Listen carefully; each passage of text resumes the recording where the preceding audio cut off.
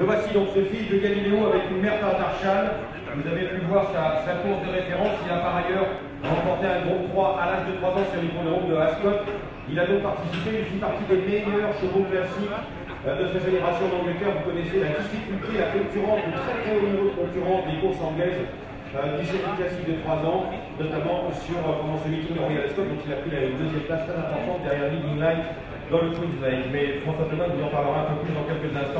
Origine merveilleuse, vidéo, la mère par lui-même frère d'une gagnante de groupe 1, une double gagnante de groupe 1, appartenant à Lady Bamford.